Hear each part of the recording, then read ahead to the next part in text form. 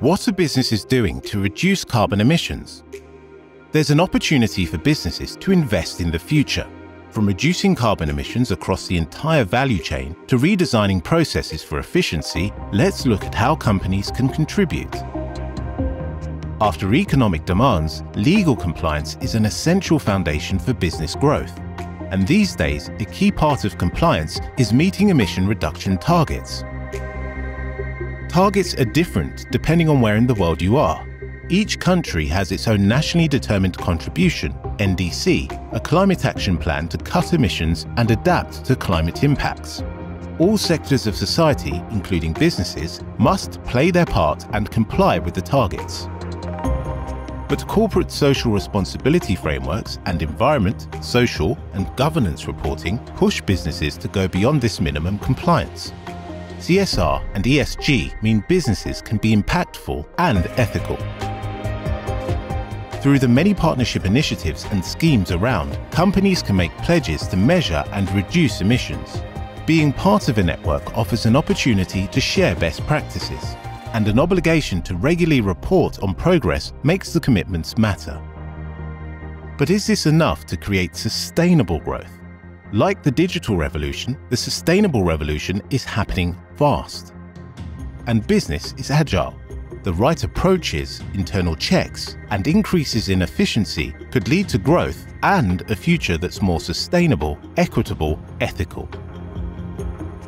The current economy's linear take, make, waste model consumes 100 billion tons of materials a year and then wastes over 90% of them. In fact, 70% of all global greenhouse gas emissions are related to material handling and use. So we'll only meaningfully cut emissions by transforming systems and processes. As a first step, low carbon products and services are having an impact across all sectors.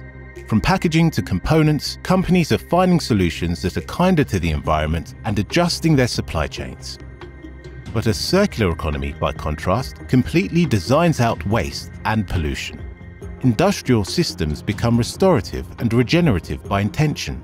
Like nature's processes, it's a closed-loop system. It's more than simple recycling. Manufacturing streams are sleeker, with products and materials in use for as long as possible.